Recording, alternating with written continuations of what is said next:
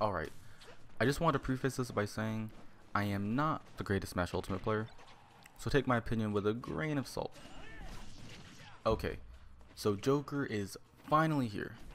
We have all waited over 4 months for him to arrive, and many of us a couple hours extra, but all that matters is that he is here. And the first question on many people's minds is, how good is he? Now, Joker has a pretty good toolset. He has a projectile that does damage over time, a tether recovery that has ridiculous vertical range, a counter that charges meter, and a gun, which isn't really that good. All of his aerials and smash attacks are pretty fast, and when you combine all that, it makes for a very solid character.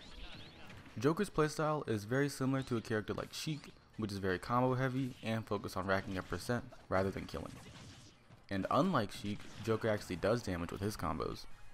Because of this, they balance Joker by making it difficult to kill with him at reasonable percents. Honestly, his only somewhat reliable kill move is back air.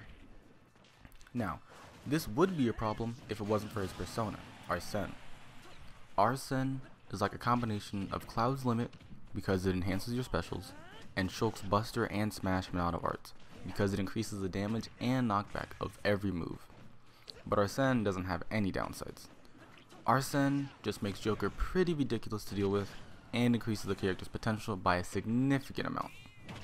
So, in conclusion, Joker has a very solid moveset with high damage and combos, solid kill options with Arsene, and insane potential. These reasons are why I think Joker sits at the bottom of high tier. I do think he will go up in tier lists very shortly, but because he is so new, he doesn't have a lot of tournament results, and top players have not been able to put in that much time with him.